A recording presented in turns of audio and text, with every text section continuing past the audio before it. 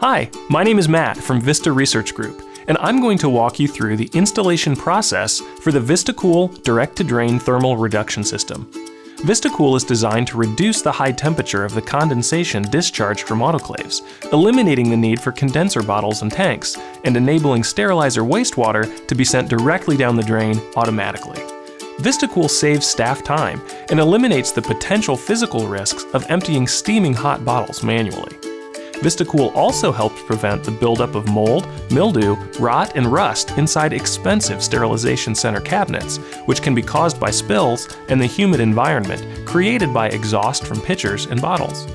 Two VistaCool models are designed to accommodate either one or two autoclaves and are currently distributed by Midmark. I'll be walking you through the installation of a Model V7502 system designed to accommodate two sterilizers, but the process is essentially the same for both units. Before you get started, remove all the contents from the product carton to be sure all the items you'll need for installation are present and undamaged. You can reference the included installation guide for a complete parts list or download one from vistacool.com. VistaCool systems are typically installed under a sink in a base cabinet of a sterilization center. The system should always be installed as close to the drain and cold water supply line as possible. The 1 quarter inch high temperature Teflon tubing will need to run from the output port of the autoclave directly to the VistaCool system. In many cases, holes will need to be drilled through one or more partitions in order to get the tubing from the sterilizer to the VistaCool. In order to protect the tubing from kinking or damage, we've included grommets with each system, which are especially important to use when drilling holes in metal cabinets. Make sure to drill the holes so that the tubing makes a progressively descending angle from the autoclave to the VistaCool. The hole entering the cabinet where the VistaCool will be installed should be above the top of the tank manifold, so gravity prevents liquid from pooling in the tubing. Also keep in mind that the VistaCool itself might need to be raised slightly in the cabinet to enable a similar downward angle from the unit to the drain line. A 9 foot length of the high temperature Teflon tubing is included with each model V7501 for a single autoclave, and an 18 foot length is included with each V7502 system. It's important not to exceed 10 feet in length for any individual section of tubing between a sterilizer and the VistaCool. Always try to minimize the length of tubing to prevent traps and pooling in the lines. Please note that we recommend that a professional technician or plumber familiar with dental and medical offices perform the installation, since we'll be tapping into the cold water and drain lines. The technician or plumber should be familiar with your local plumbing codes and techniques for successful equipment installations, because failure to install the system correctly could result in water leaks, leading to possible water damage. So without any further ado, let's get started with the plumbing. First, turn off the water supply. Tap the cold water line with a T, valve, or compression valve so the 1 4 inch polyurethane tubing can be connected. Be sure to connect to the cold water supply ahead of any foot switch that might be present for uninterrupted water supply. Next, cut a 3 to 4 inch piece of the blue poly tubing and connect the installed fitting from our last step to the inlet of the inline water valve provided. Be sure the valve is in the closed position.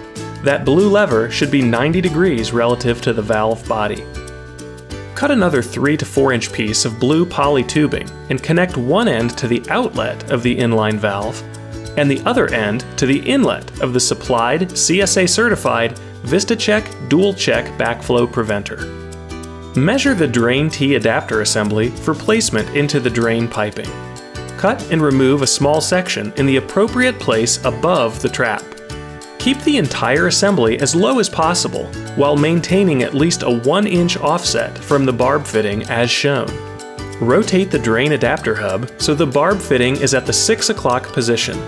Be sure to tighten the slip joint T's nuts once all steps are complete. Now we're ready to connect the system. Start by filling the water tank completely. Remove the manifold and coil assembly from the tank by twisting the manifold counterclockwise. Fill the tank with cold water, replace the coil manifold, and place the tank into position under the sink. Continue the tubing from the outlet of the VistaCheck to the top stainless hose barb on top of the brass water valve on the thermal regulator. It can help to warm the end of the tubing with hot water before pushing it over the barb. Just make sure the tubing is pushed down completely and flush with the hex stainless base of the barb. Connect the 1 4 inch high temp Teflon tubing from the autoclave to the milky white Kynar fitting on top of the white manifold. Make sure the tubing doesn't kink when moving the autoclave or pulling the tubing through the cabinet partition holes. Now connect the 1 4 inch black opaque condensate line tubing to the elbow fitting on top of the manifold. Then connect the other end to one of the male adapter fittings on the drain adapter. Cut that same black condensate line as close to the drain adapter assembly as possible and install the inline thermal sensor. Make sure the flow direction on the inline sensor is oriented toward the drain. If connecting only one autoclave to the VistaCool system, be sure the included plug is inserted into the second male adapter fitting on the drain adapter. Now connect one end of the half-inch clear PVC tubing to the elbow hose barb on the tank, and the other end to the straight half-inch hose barb on the drain line adapter. Make sure the tubing is firmly engaged over the barbs. If in doubt, use appropriately sized hose clamps. The VistaCool system should be set on a hard, level surface and installed so that the top of the water tank is above the coolant overflow fitting on the drain adapter assembly and below the autoclave outlet. If the tank is below the level of the coolant overflow fitting, the system may not operate properly. Installing a tank at the wrong height may create resistance for proper water flow, since the system is designed to take advantage of gravity flow. Adjustable tank stands for installing the VistaCool at the correct height are available as accessories when needed. These stands raise the tank height between 1 half to 5 inches in half inch increments. Turn on the main water supply and check for leaks. Slowly open the inline water supply valve fully and check for leaks.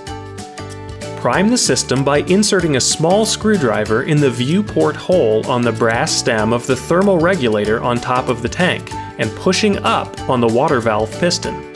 The system is primed when water can be seen leaving the half-inch overflow fitting on the tank and running to the drain adapter.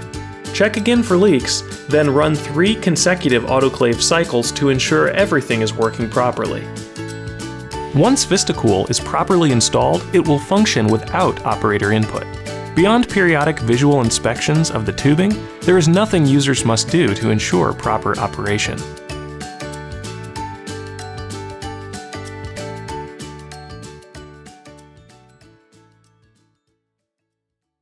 For more information, contact Midmark Support Services at 1 800 Midmark.